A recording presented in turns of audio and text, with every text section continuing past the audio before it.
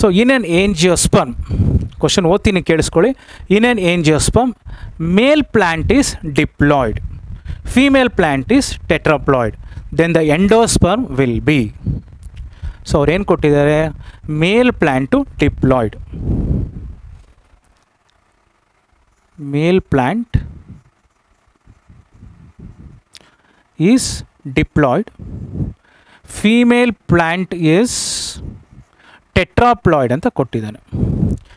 ಇವೆರಡು ಪ್ಲ್ಯಾಂಟ್ ಮಧ್ಯ ಫರ್ಟಿಲೈಸೇಷನ್ ಆದರೆ what will be the ploidy level in the endosperm ಇದೆರಡರ ಮಧ್ಯ ಫರ್ಟಿಲೈಸೇಷನ್ ಆದರೆ ಎಂಡೋಸ್ಪರ್ಮ್ ಪ್ಲಾಯ್ಡಿ ಲೆವೆಲ್ ಏನು?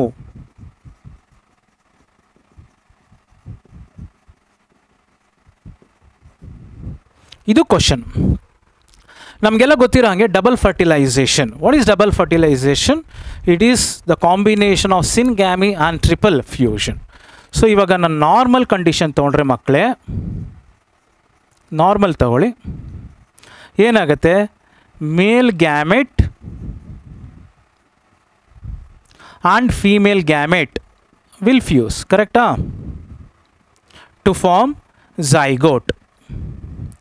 So this is n this is n this gives rise to two n ಇದು first and second thing is male gamete plus two secondary nuclei ಕರೆಕ್ಟಾ ಎರಡಿರುತ್ತೆ ಹ್ಯಾಪ್ಲಾಯ್ಡೆ ಇದು ಹ್ಯಾಪ್ಲಾಯ್ಡೆ ಹಾಗಾಗಿ three nuclei will fuse that is what we call it as what is a triple fusion three n ಬಂತು. And we know that zygote develops into embryo, pen develops into a nutritive tissue called as endosperm. This is normal. But ಇಲ್ಲಿ normal ಕೇಳ್ತಾ ಇಲ್ಲ ಅವರು. ಸ್ವಲ್ಪ twist ಮಾಡಿದ್ದಾರೆ ಏನು ಮಾಡಿದ್ದಾರೆ only they ಹಚ್ಚಿಂದ ಪ್ಲಾಯ್ಡಿ ಲೆವೆಲ್ ಯಾವ ಥರಪ್ಪ ಮೇಲ್ ಪ್ಲ್ಯಾಂಟು ಡಿಪ್ಲಾಯ್ಡ್ ಇದೆ. ಆ್ಯಸ್ ಯೂಶಲ್ ಮಿಯೋಸಿಸ್ ಆದಾಗ ಏನು ಬರುತ್ತೆ ನಮಗೆ? ಮಿಯೋಸಿಸ್ ಆದಾಗ ಹ್ಯಾಪ್ಲಾಯ್ಡ್ ಗ್ಯಾಮಿಟ್ಸೇ ಬರುತ್ತೆ. ಕರೆಕ್ಟಾ ಮಕ್ಕಳೇ ಗ್ಯಾಮಿಟ್ ಬಂತು. ಬಟ್ ಇದನ್ನು ನೋಡಿ ಫೀಮೇಲ್ ಪ್ಲಾನೆಟ್ ಡಿಪ್ಲಾಯ್ಡ್ ಅಲ್ಲ. What is it tetraploid so here it will be divided into two n two n so we will going to get diploid female gamete ಅರ್ಥ ಆಗ್ತಿದೆಯಾ? ಡಿಪ್ಲಾಯ್ಡ್ ಫೀಮೇಲ್ ಗ್ಯಾಮಿಟ್ ಬಂತು. ಹಾಗಾಗಿ ಇಲ್ಲಿ male gamete haploid ಇದ್ದರೆ female gamete ಏನಾಯಿತು?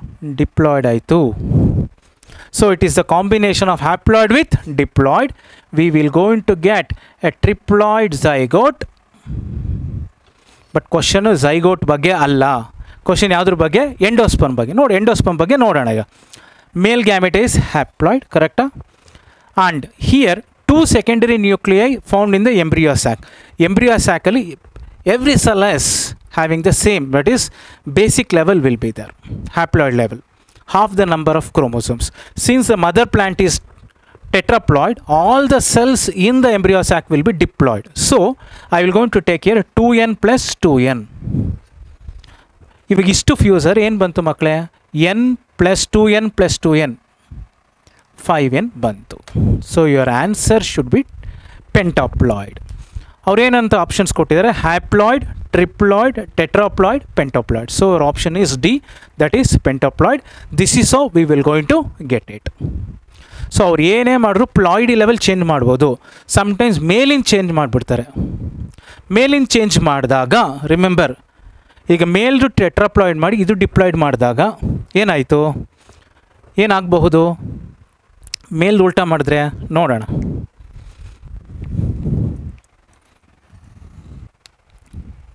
Assuming that male is tetraploid female is diploid ಅಂದ್ಕೊಂಡ್ರೆ ಏನಾಗುತ್ತಪ್ಪ?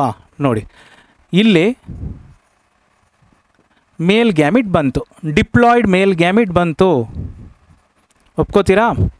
But here it is haploid female gamete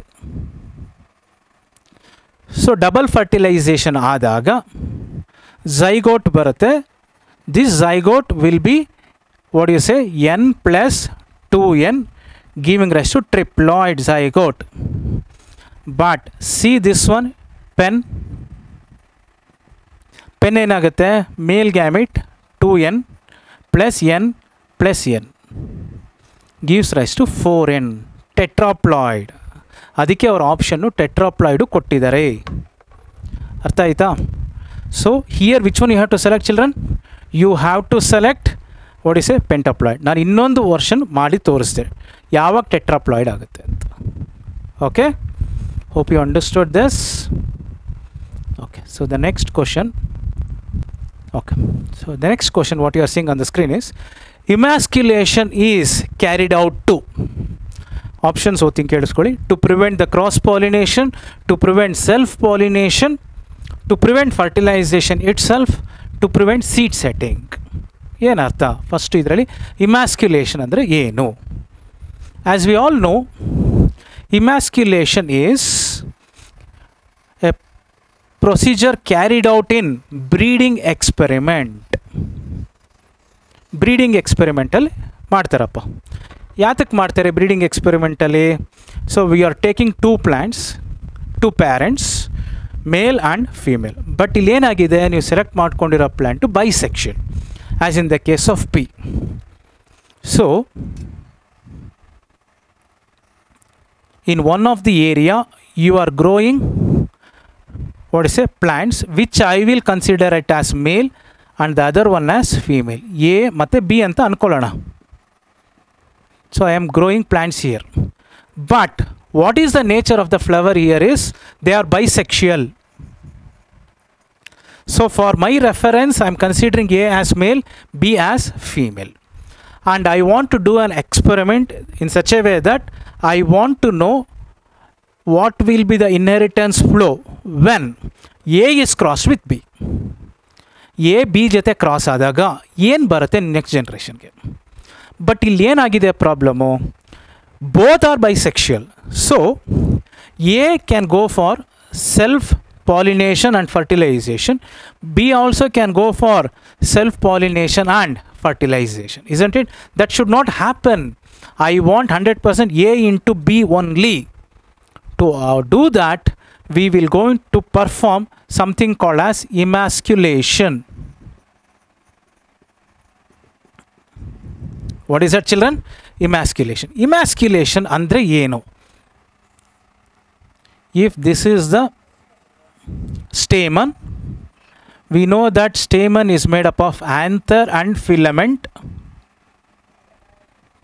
So anther is very important for us because that is the region where pollen grains are formed which contains male gamete. Correct huh?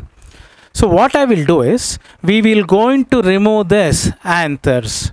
If possible you remove the stamen if not at least remove the anthers before it dehisces that's very very important. Before it dehisces dehisce ಆದಮೇಲೆ ಮಾಡಿದ್ರೆ waste pollen grains release ಆಗೋಕ್ಕೂ ಮುಂಚೆ before it dehisce you have to take out all the anthers from the flower to prevent what to prevent self pollination ಅರ್ಥ ಆಗ್ತಿದೋ? ಇಲ್ಲಿ first emasculation ಅಂದ್ರೇನು removal of what is a undehisced anthers from the female parent ಇದನ್ನು ಕೇಳ್ತೀರಿ, ಯಾವ ಪೇರೆಂಟಲ್ಲಿ ಮಾಡಬೇಕು ಅಂತ ಕೇಳಬಹುದು.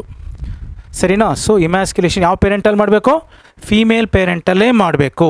ಯಾಕಂದರೆ male parent is meant for contributing pollen grains so you are not suppose to remove the anther so anther should be removed only in female parent that too before dehiscence why do we do this to prevent what children self pollination so answer is b to prevent self pollination okay so the next question male gamete of angiosperms are uniflagellate biflagellate non-motile as there is no flagellated part in the life cycle of angiosperms none of the above ಈ ಥರ ಕೇಳಿದ್ದಾರೆ so male gamete of angiosperms ಇದು first ಇಯರಲ್ಲಿ morphology of flowering ಪ್ಲ್ಯಾಂಟ್ಸ್ಗೂ reflect ಆಯಿತು sexual reproduction of flowering ಪ್ಲಾಂಟ್ಸಲ್ಲೂ ಬಂತು so ಹೇಗೆ ಮಾಡೋದಿದು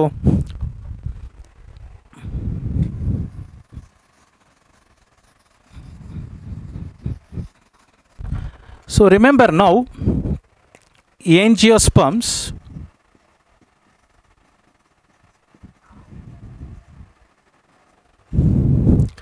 pollen grains are formed. Okay, I will take the other way round. Gymnosperms and angiosperms.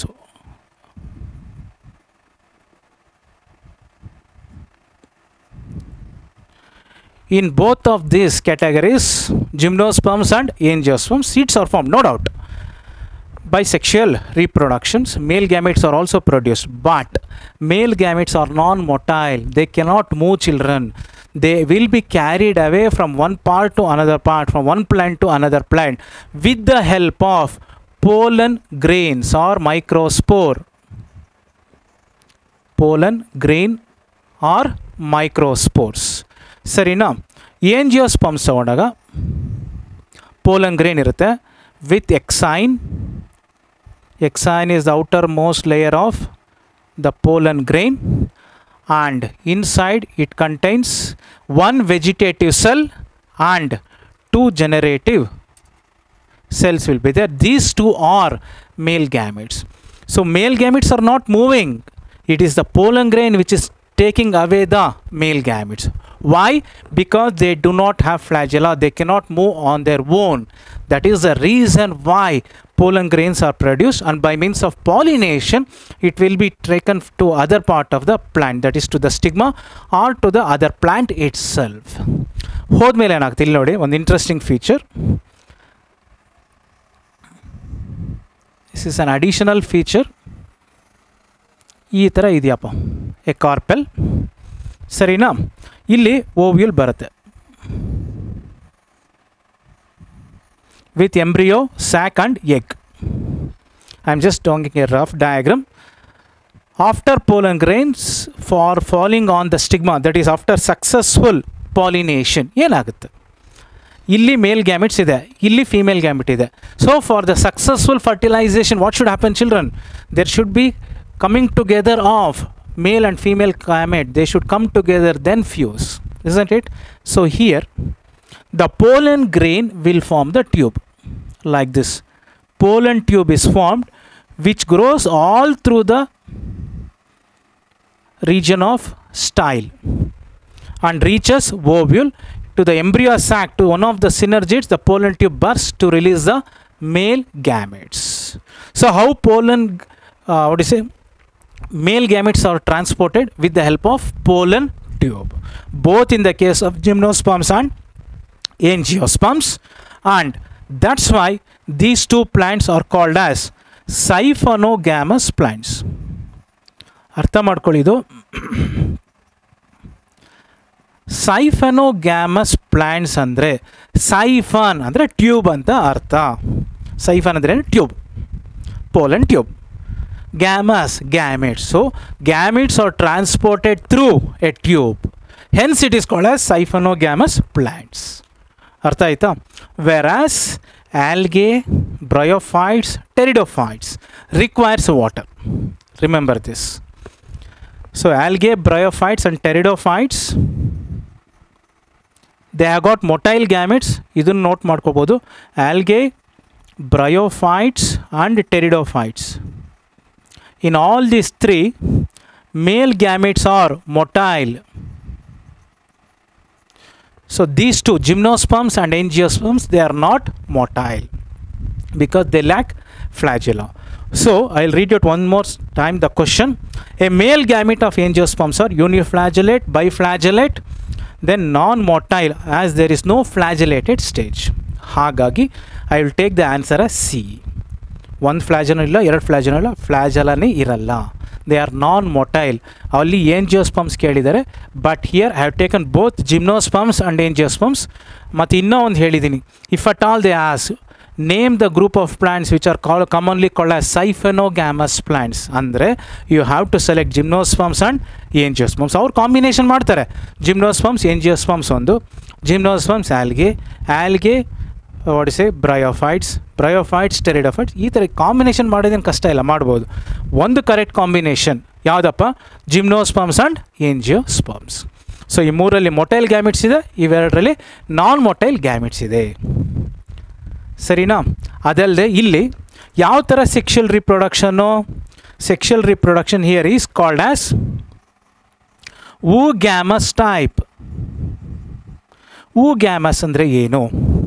ಹೂ ಗ್ಯಾಮಸ್ ಅಂದರೆ female gamete is non motile okay restricted to the reproductive system the male and quite large female gamete is very small and motile it will move towards the female gamete so this is the advanced type of sexual reproduction found in higher plants as well as in animals including human beings what type of sexual reproduction oogamous type children